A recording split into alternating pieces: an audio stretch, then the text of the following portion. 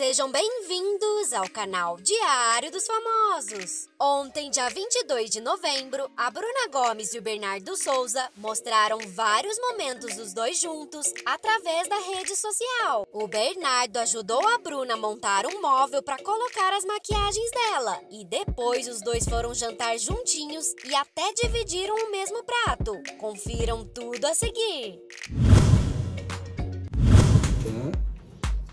Olha, hoje fomos lá comprar um negócio para colocar as minhas maquiagens.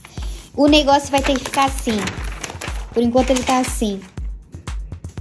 Olha, tem tudo para dar certo.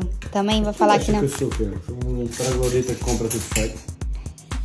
Não, amor, na verdade isso aqui tá feito. Os pregos, os negócios realmente é uma parte que tu eu teve. sabia que- fazer a mesma sempre, sempre sem instruções e que Hum. Ah, então se eu soubesse assim que é tão talentoso, tinha pedido para um de madeira e fazer um design especial. Faz um especial. Esse... Olha, mas eu também só tô aqui olhando, porque eu sou ruim com as forças até pra botar uns pregos, não é? E eu vou mostrar o resultado final depois pra vocês. Ó, vou mostrar pra vocês. Deu tudo certo sim! Ó, o mais bonito disso é que eu acho que ele custou 9 euros. Ah, meu Deus! Aí como é que eu organizei? Aqui, skincare. Os negócios pra repuxar a pele e tudo, pra ficar bom, com as forças.